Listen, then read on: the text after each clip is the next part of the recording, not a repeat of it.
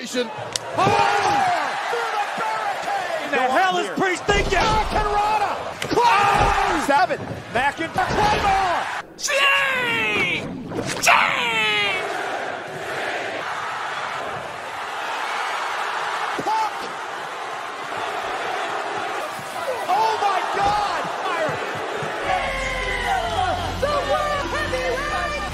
The catalyst of change!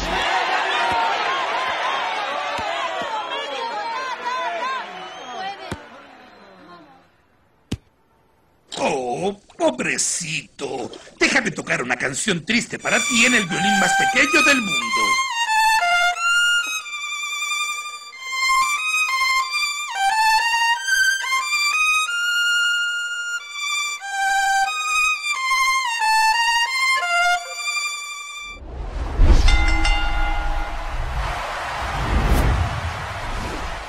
Muy buenas fanáticos del wrestling, bienvenidos a mi análisis y resumen de Clash de Castle 2024. Clash at the Castle.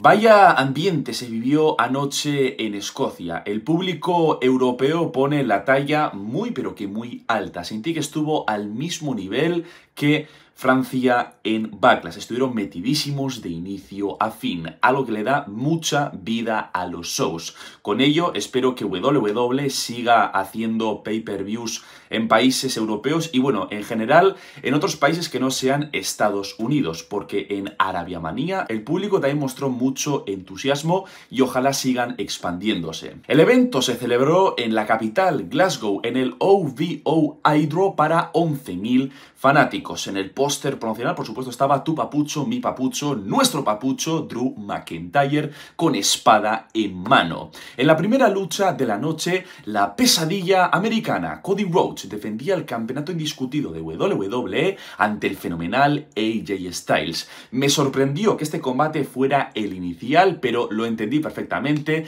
ya que el papucho estaba en su casa y por supuesto merecía el estelar. Con ello, WWE quería empezar a lo grande este show con una lucha tan importante como la de Styles y Rhodes en el opener. Fue muy gracioso como en la match card en el nombre de Cody Rhodes aparecía Talent Name. Imagino que la noche de ayer una persona fue despedida de WWE. Una vez que suena la campana, estos dos van con todo, atacándose sin ningún tipo de piedad. Salen rápidamente fuera del ring y se van por la zona del público. Mientras tanto, la fanaticada se lo está gozando. Llegan a los bastidores, se golpean por un pasillo con paredes blancas. Después van al Gorilla Position hasta que regresan por la arena, van al cuadrilátero y Cody le aplica la figura 4 a su rival.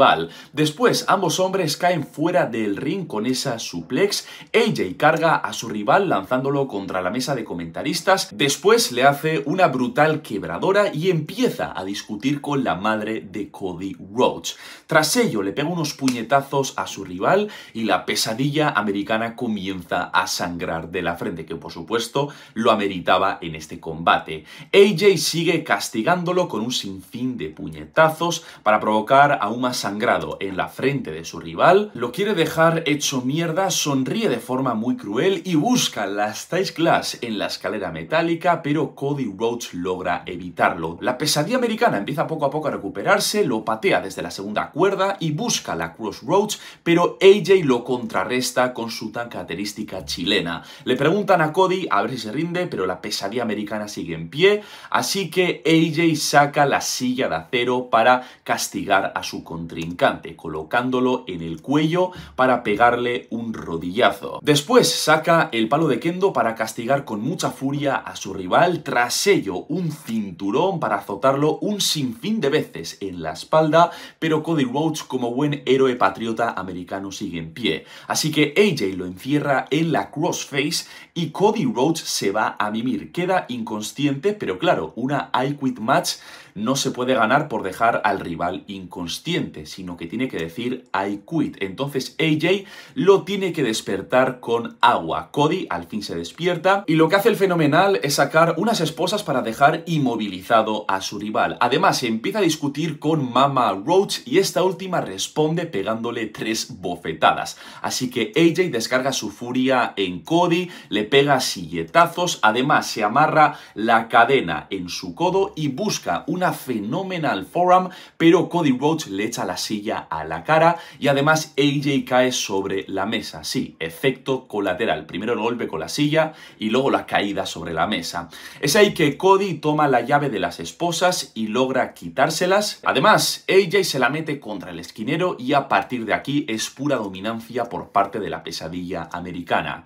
Conecta la cutter desde la segunda cuerda y después le hace tres crossroads. Las primeras dos normales y la tercera con silla incluida. AJ queda hecho mierda, le pregunta a ver si se rinde, pero el fenomenal sigue en pie. Entonces Cody Rhodes lo esposa con la cuerda y empieza a pegarle silletazos, tanto en el pecho como en la espalda, como también en la rodilla, pero AJ Styles sigue en pie. Ya por último, Cody Rhodes toma la escalera metálica, está a punto de golpearlo, pero el fenomenal dice I quit, así que Cody Rhodes retiene exitosamente el campeonato indiscutido de WWE. Eso sí, aún así, lo golpea con la escalera metálica, luego se sube a dicha escalera y alza el WWE Championship para la moción de la fanaticada. Fue otro gran capítulo de la rivalidad entre Cody Rhodes y AJ Styles, yo lo disfruté mucho, no fue tan técnica como la de Backlash, pero se entendía ya que aquí había una estipulación y el combate se centraba más en lo personal entre Cody y AJ más que la parte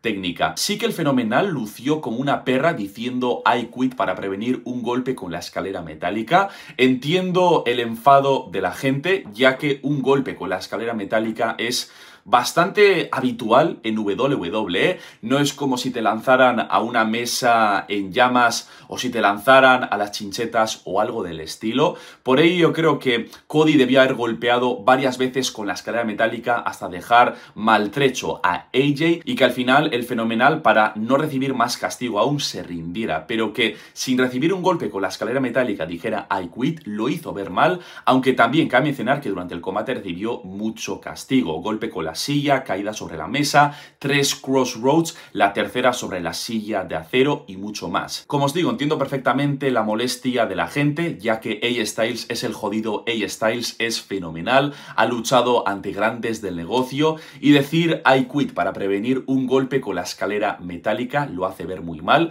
pero también en el kayfabe es un sucio cobarde, llegó al punto de fingir su retiro para tener otra oportunidad titular ante Cody Rhodes. Y a mí me gustaría ver una tercera parte entre ellos dos. Es verdad que AJ ha perdido los dos combates que ha disputado ante la pesadilla americana, pero en ambos combates ha estado cerquísima de ganar. Y una tercera parte para rematar la rivalidad en Money the Bank o quizá en SummerSlam, vamos, estaría genial. Mientras Cody Rhodes celebra su victoria, solo Sikoa aparece detrás suya y Tangaloa y Tamatonga lo atacan por la espalda. Pero Randy Orton y Kevin Owens llegan al rescate espantando a los villanos. No me sorprendería si en el siguiente pay-per-view se da una lucha de tercias entre estos seis luchadores. Posteriormente, Shayna Baszler, Soy Stark, Alba Fire, Isla Down, Bianca Belair y Jade Cargill se enfrentaban en una triple amenaza en parejas por el campeonato femenino Tag Team. Por supuesto, Alba Fire e Isla Down fueron las más ovacionadas ya que estaban en su casa, Escocia. Por su parte, las Black Power salieron con indumentaria especial, tenían incluso pintura facial, lucían genial, y una vez que sonó la campana fueron ellas dos quienes arrancaron dominantes imponiéndose ante las retadoras. Bianca Belair demostró su poderío luchando con mucho ímpetu y Jade Cargill más de lo mismo, a pesar de que sus retadoras unieran fuerzas, hizo mierda tanto a las escocesas como también a Shayna y Zoe. Aplicó una Samoan Drop a dos mujeres a la vez, después se combinó con Bianca para aplicar una suplex al mismo tiempo, hasta que ambas retadoras inteligentemente unieron fuerzas para debilitar a las campeonas. Soy Stark y Shayna Baszler trabajaron en equipo con Alba Fire e Ila Down, hasta que más tarde ya se fueron a los golpes. Alba entró motivadísima al ring cuando recibió el relevo, aplicó una tornado de ET, después una Swanton Bomb fuera del ring, tras ello las patadas voladoras desde la tercera cuerda, después vimos esa combinación de bombazo y superplex y Bianca Belair hizo lo mismo conectando una superplex. Al final Jade Cargill recibió el relevo y bueno, fue un festival de boches su actuación en el cuadrilátero, ya que nada más recibir el relevo, bocheó el planchazo, cayó de forma pues bastante fea, aún así le dio bien duro a las presentes en el ring, aplicando Spinebuster y bombazos, pero de repente recibió la Kirifuda Clutch de Shayna Baszler y como podéis observar, se rindió cuando no debía rendirse. Tocó tres veces con la palma de su mano el hombro de su rival, pero no perdió el campeonato femenino en parejas de ese modo. En fin, Jade Cargill es una estrella, luce genial ya que está mamadísima, pero se ve que en el cuadrilátero sigue muy verde. Y eso que ya lleva varios años luchando, ya que Anteriormente había estado en All Elite Wrestling. Entonces, Jade Cargill queda hecho mierda. Bianca Belair corta el conteo con la 450 Splash. Después le hace la Spinebuster a Zoe Stark y se combina con Jade para aplicar su remate conjunto. Sin embargo, Ayla Down corta el conteo sacando a las Black Power fuera del ring y así es como da la victoria a su equipo. Así que Alba Fire e Ayla Down se convierten en las campeonas femeninas en pareja para la moción de la fanática. Los escoceses quedan bastante contentos ya que las locales ganan el combate. Y bueno, estas dos celebran la victoria con su familia en primera fila e incluso reciben un ramo de flores. El combate estuvo bastante bien para el tiempo que duró, fue un spotfest, una acción en todo momento, ritmo muy frenético, lo único malo fueron los bots de Jade Cargill que son bastante notables. Imagino que necesita más entrenamiento porque WWE no solamente es el aura y el físico que lo tiene de sobra, sino que también micrófono y sobre todo habilidad en el cuadrilátero. Me alegro por Alba Fire e Ila Down, aunque siento que es un poco forzada su victoria porque habían estado muchos meses fuera de televisión básicamente congeladas hasta que de cara a clase de casa, el Triple H las descongeló aprovechando el momento, ya que luchaban en su casa y ahora se convierten en campeonas femeninas en pareja. Aunque bueno, también lo entiendo, ya que Bianca Belair y Jade Cargill como campeonas no daban para mucho y afortunadamente pues ya termina su reinado. Luego llegó la hora de la lucha por el campeonato intercontinental, ya que Sami Zayn defendía su cinturón ante Chad Gable, que salió acompañado de Otis y Maxine Dupri. Me pregunto a ver dónde rayos estaba Akira Tosawa, ya que es el integrante que faltaba de la Academia Alpha. Una vez que suena la campana, el público banca a muerte a Sami Zayn, haciendo cánticos a su favor, como por ejemplo gritando su nombre, o el clásico ole, ole, ole, ole. Por su parte, Chad Gable le da duro al llaveo contra llaveo. Tanto Sami como Chad se lucen con esa lucha a ras de lona. Por su parte, Sami trata de convencer a Otis con no obedecer las órdenes de Chad, pero el olímpico luego se dirige donde Otis y le deja bien claro que él es su alumno y que debe de obedecerlo. Chad le aplica la Northern Light Suplex a su rival y comienza a castigar su brazo izquierdo. Sami contraataca con varios codazos desde la segunda cuerda y saca a su rival fuera del ring para seguidamente conectar una moonsault. Tras ello salta desde la tercera cuerda, pero Chad lo pilla en el aire con unas patadas voladoras. Sami contraataca con la Michinoku Driver. Chad responde con un bombazo seguido de un cabezazo desde la tercera cuerda que luce espectacular. Tras ello aplica dos suplexes alemanes, busca la tercera, pero Sami lo contrarresta a la misma movida. Le hace dos suplexes alemanes y la tercera es la Dragon Suplex donde Sami cae boca abajo. Ambos hombres bastante desgastados comienzan a intercambiar golpes ante los cánticos de Boo, Ye, hasta que Chad encierra a su rival en la crossface. Me mucho a la crossface que aplicaba Chris Benoit por el modo en el que Chad llevó a su rival contra lona, además que previamente había aplicado suplexes alemanes y el cabezazo volador. Da muchos recuerdos del Rabbit Wolverine. Entonces Sammy lo contrarresta a la misma sumisión y Chad logra transicionarlo a la Angelock. Oye, me recordó al combate entre Chris Benoit y Kurt Angle en Royal Rumble donde intercambiaban crossfaces y Angelocks. Ahí están un buen rato hasta que Sammy busca el paquetito, pero Chad se sale de la cuenta y toma el campeonato intercontinental para dárselo a Maxime Dupri. Le dice que sabe muy bien lo que debe hacer, pero Maxime Dupri no se atreve a golpear a Sami Zayn. Chad Gable se pone de mala hostia, Sami casi le pega la Helluva Kick a la rubia y Chad aprovecha para aplicar la Chaos Theory, pero Sami se sale de la cuenta. Chad se enfada con la rubia, pero Otis se pone cara a cara con su maestro, llevándose el cariño del público, sin embargo se come el tope con hilo de Sami Zayn y Chad aprovecha para conectar la Moonsault. Busca la misma movida en el cuadrilátero, pero Sami Zayn lo evita, lo lanza contra el esquinero y va a aplicarle la Helluva Kick, pero Chad sale fuera del cuadrilátero. Entonces Sami se apoya en la barricada y Chad le aplica la Angel Lock, tremendo ese spot, aprieta con todas sus fuerzas, pero Sami lo empuja y Chad accidentalmente golpea a Maxine Dupri. Ahí parece que Otis al fin se va a revelar ante su maestro, está a punto de golpearlo, pero Chad sube al cuadrilátero aterrorizado, Otis está a punto de golpear a Sami Zayn, pero Maxine Dupri lo detiene y Otis lo carga para llevarlo a los bastidores. Como de costumbre, Otis se va con una rubia, anteriormente era con Mandy Rose, ahora con Maxine Dupri.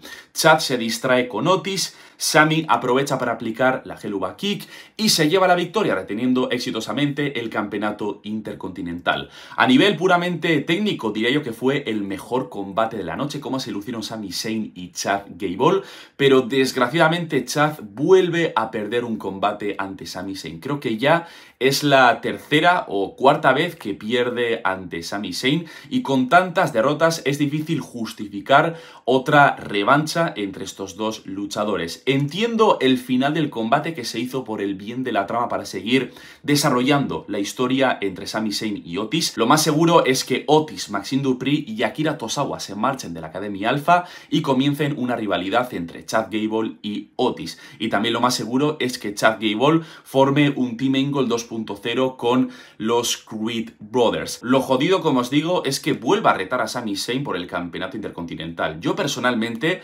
estoy disfrutando mucho de su paso como villano, pero espero que no lo devuelvan a Joverlandia. Espero que no lo conviertan otra vez en un Jover tras este combate, porque si no sería jodidamente triste. Chad anda desatadísimo, ha hecho un gran trabajo como villano, dando buenas promos en los programas semanales, además en los pay-per-views da buenos combates, pero de verdad, espero que tras esta derrota ante Sami Zayn, que ya es la tercera o la cuarta, no lo devuelvan a Joverlandia. Es lo único que espero. Que aprovechen ahora para um, comenzar una rivalidad entre él y Otis y más tarde vuelva al panorama titular. Aunque yo personalmente tengo miedo porque con Chad Gable siempre nos hacen lo mismo, nos ilusionan dándole un pequeño push hasta que pierde los combates titulares y luego vuelve a Joverlandia. Y es que es un hombre con puro talento, siempre demuestra calidad en el cuadrilátero, pero el manejo o bueno, el buqueo nunca ha estado a su lado. En la lucha preestelar, la mamasota Bailey defendía el campeonato femenino ante Piper Niven, que por supuesto entró de local,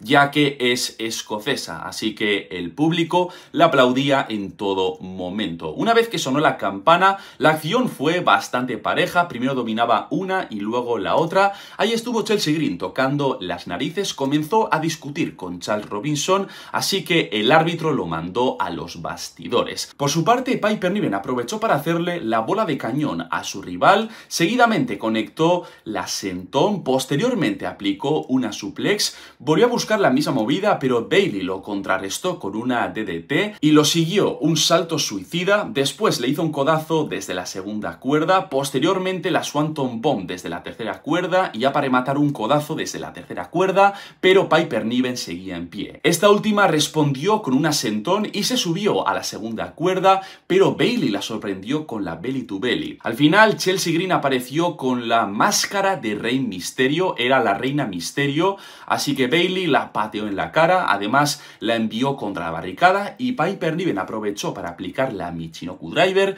pero la campeona femenina seguía en pie. Ya para rematar, Bailey buscó la Rose Plant, no logró aplicarlo, pero sí le hizo un Crucifix Pin a su rival y así logró llevarse la victoria por la cuenta de tres, reteniendo exitosamente el campeonato femenino. El combate más flojo de la noche, sinceramente yo no me esperaba nada de esta lucha, al final me terminó sorprendiendo, hubo algunos momentos a destacar, pero bueno, no fue nada del otro mundo. Bailey retiene su cinturón, derrota a la luchadora local, sí que Piper lució pues bastante mal ya que luchaba en su casa, en Escocia, y a pesar de las numerosas interferencias de Chelsea Green, perdió el combate ante Bailey. Así que bueno, se ve a kilómetros que Triple Calva programó este combate para darle un fanservice al público escocés. Porque vamos, seguro que después de este combate nerfean a Piper Niven y sigue a lo suyo con Chelsea Green en el roster principal. Y bien, bien, bien, la lucha estelar, el combate más llamativo de la noche. Tu papucho, mi papucho, nuestro papucho, el crack, el fiera, el mastodonte, el titán, el semental,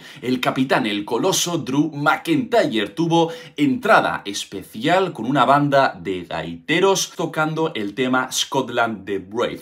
Tras ello sonó el tema entrada de Drew McIntyre, no sonó Broken Dreams desgraciadamente cuando el momento lo ameritaba.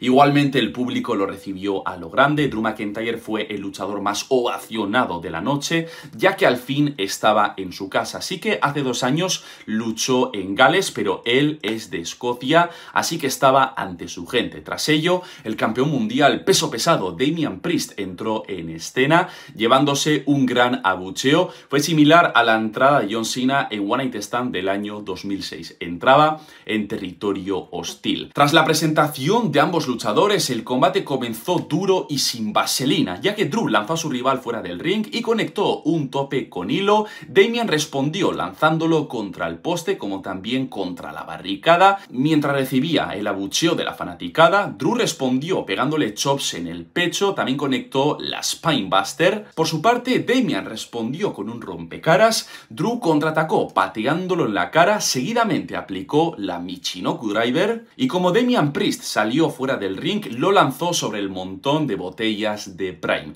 Es ahí que Damian cometió uno de los boches más eh, peligrosos que yo he visto en mi vida, ya que buscó el tope con hilo, pero su pie derecho se vio amarrado entre la segunda y tercera cuerda. Se metió un buen ostión y a partir de ahí estuvo todo el combate cojeando. Tenemos que aplaudir por las ganas que mostró el puertorriqueño anoche luchando como un guerrero a pesar de estar lesionado. Además que improvisaron muy bien la situación, ya que Drew McIntyre en vez de vender el tope con hilo se levantó como si nada y siguió castigando a su rival. Damian buscó la South of Heaven pero Drew lo evitó y le aplicó la Future Shock DDT. Después se subieron al esquinero y Damian logró aplicar la Razor's Edge. Aún así el papucho seguía en pie. Ambos hombres comenzaron a intercambiar golpes como también cabezazos. Drew conectó la neckbreaker, se levantó de un salto para la moción de la fanaticada y buscó la Claymore Kick, pero Damian salió fuera del ring,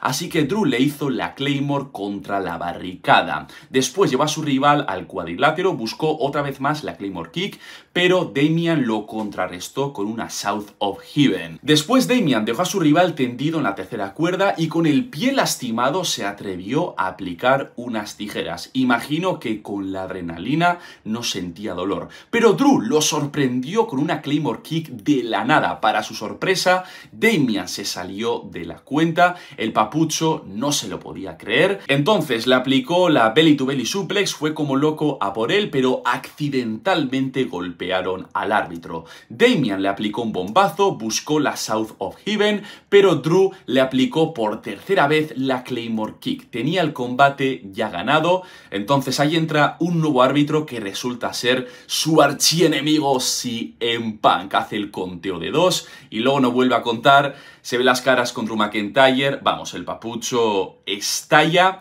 CM Punk le pega un golpe bajo y Damian aprovecha para aplicar la South of Heaven y llevarse la victoria por la cuenta de tres, reteniendo exitosamente el campeonato mundial peso pesado. Me gustaría aplaudir por lo mucho que demostró Damian Priest en este combate con el pie totalmente lastimado, cojeando, luchó hasta el final como un guerrero. Hay que aplaudirlo por la resistencia que mostró anoche. Además, cuando terminó el combate tuvo un pequeño momento con Drew McIntyre. Imagino que lo agradeció por el gran combate que dieron. Y bueno, hablando acerca del resultado, me entristeció muchísimo cómo a Drew McIntyre le arruinaron su momento por tercera vez. La primera fue hace dos años en Clash de Castle, cuando solo Sikoa le costó el combate ante Roman Reigns. La segunda fue en WrestleMania 40, que si bien ganó el campeonato mundial peso pesado, CM Punk arruinó su atacándolo para que después Demian Priest canjeara el maletín. Y ahora CM Punk vuelve a arruinarlo en su lucha titular ante Damian Priest vistiéndose como árbitro. A mi parecer, este era el momento de Drew McIntyre ya que verdaderamente estaba en su casa. Hace dos años luchó en Gales, que el público lo recibió a lo grande ya que Drew es del Reino Unido, pero es que anoche el evento fue en Escocia, en su país. Drew estaba en su casa y después después de todos estos años donde ha estado en busca del campeonato pero que no lo ha conseguido, parecía que anoche iba a ser su redención, pero en Punk arruinó su momento. Me llevé una tremenda decepción. Pensándolo en frío, imagino que Triple H no quería coronar a Drew McIntyre en este evento, a sabiendas de que Gunta es el King of the Ring y recibe una oportunidad titular en SummerSlam. Lo más seguro es que Triple Calva quiere que Gunta destrone a Damian Priest en SummerSlam y seguir construyendo a Drew McIntyre de cara a WrestleMania 41 para que al fin tenga su momento. Pero no creéis que es estirar demasiado la redención de Drew McIntyre? ¿No creéis que ya hemos esperado demasiado tiempo para que Drew McIntyre tenga al fin su momento como campeón mundial en frente de la fanaticada? Hombre, con esto la rivalidad entre CM Punk y Drew McIntyre está más caliente que nunca. Lo más seguro es que luchen en SummerSlam y bueno, en la conferencia de prensa le preguntaron a CM Punk a ver si su primera lucha va a ser una Hell in a Cell match por la rabia que hay entre ellos dos. No me sorprendería si el primer combate de la rivalidad es con estipulación de por medio, ya que ambos se tienen muchas ganas. Eso sí, como os digo, si Drew McIntyre se corona en WrestleMania 41, me alegraré, pero no sé si será esperar demasiado tiempo para al fin su redención. Desgraciadamente pierde en el evento central de Clash a the Castle, es la tercera vez que crean el momento perfecto para Drew McIntyre y termina perdiendo. Bueno, sí que en WrestleMania 40 ganó, pero su reinado duró 5 minutos y terminó con cara de pendejo. Así que bueno, así como finaliza este pay-per-view.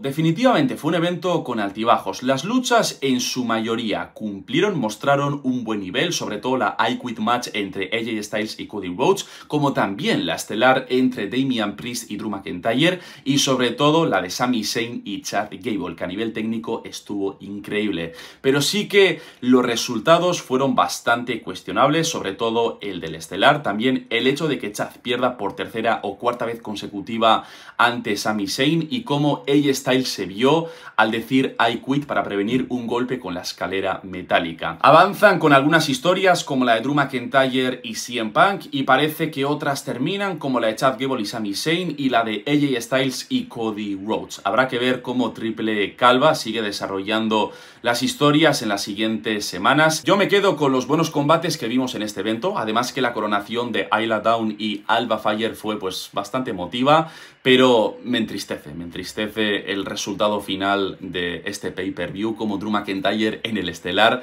vuelve a perder, además que estaba en su casa en Escocia, es triste. Pero bueno, fanáticos, me gustaría saber vuestra opinión aquí abajo en la caja de comentarios, ¿qué os pareció Clase de Castle 2024? Si os gustó el vídeo, dejad un like, compartirlo con vuestros amigos y suscribiros al canal si aún no lo estáis. Os mando un fuerte abrazo, ser felices y ya nos veremos en el próximo vídeo. Muy buenas fanáticos del wrestling con un puto F5 Arabia me pone crazy. ¿Quieres una review? Te hago un detrás del kayfabe, también manejo tops. La historia del Undertaker.